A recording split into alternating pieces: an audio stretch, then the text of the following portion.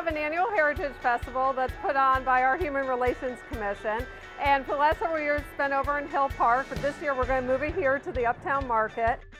It's really a celebration of all of our cultural diversity here in Independence and really, you know, around our community, around our region.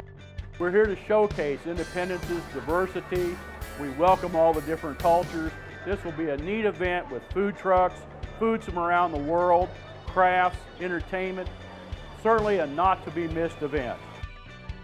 Everybody from all over the region can come and enjoy it.